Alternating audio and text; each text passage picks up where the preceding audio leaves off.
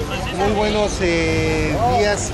Estamos aquí, que están ahorita hablando pues, de un problemita en el cual los negocios de aquí, de esta área, que es la donde está el club de yates, eh, Bonanza, Fiesta, y aquí Manzanillo, todos estos negocios y todo esto con corredor turístico ha quebrado económicamente porque la gente no quiere polvo, no quiere molestias y no viene y se han parado las horas y han sido perjudicados. Platíquenos cuando no de la entrevista, por favor, y su nombre. Yo soy Francisco Aguilar y soy el coordinador, uno de los coordinadores de los empresarios que están del Zócalo a la bodega. Eh, somos eh, pequeños comerciantes, pequeños negocios, nos llaman negocios, tenemos un derecho para manifestarnos porque la empresa, la constructora Cemex no cumple. Queremos que las obras se agilicen para que lo menos posible se nos afecte. El gobierno tampoco hace caso.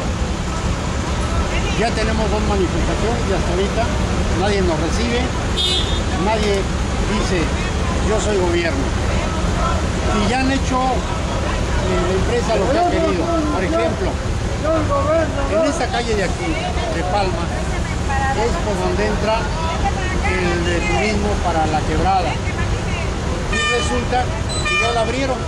Tiene cuatro días que están paradas las máquinas. Y es el acceso para la quebrada. Entonces, esto es de veras inaudito que no haya ninguna autoridad, ni turística, ni del municipio, ni estatal, que diga, oiga, no cierren esa calle porque es para, para el turismo. No, tiene una semana completa parada las máquinas y nadie dice, aquí estoy. Entre más duren las obras, más nos afectan los negocios. Por esa razón hacemos un llamado al señor gobernador, que seguramente no sabe de esto, para que nos reciba y le digamos de viva voz cuáles son los problemas. Ahora, ¿qué es lo que nosotros pedimos? Pedimos dos cosas concretamente. Una, que se agilicen las obras para que los eh, negocios sean menos afectados. Segunda, que se nos indemnice. Hay muchísimos negocios que están quebrando. Y están quebrando no solamente el negocio, porque tienen trabajadores. Y cada trabajador es una familia que se está quedando sin su trabajo, sin su alimento.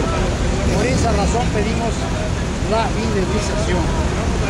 Eh, si nosotros tomamos en consideración todos los que han ido cerrando ya, pues es muchísima gente la que queda sin trabajo. Hablamos de trabajadores y hablamos también de gente que tiene su negocio. Así que le hacemos un llamado al gobernador para estas dos peticiones en concreto. El señor, muy importante, pues es todo. Ya compañero dijo todas las peticiones que estamos pidiendo. Todo que nos escuche, señor gobernador, que se toque un poquito su corazón. Cuando estaba en campaña ustedes lo apoyaron, ¿verdad? Así es. Sí, señor, pues algo, pues ya nada, no hay nada que agregar. Pues muchísimas gracias. Su nombre, por favor. Luis Martínez, servidor. Francisco Aguilar Carbón. Muchas gracias por esta entrevista. Somos los coordinadores de los empresarios, pequeños empresarios del Zócalo a Caleta. Gracias.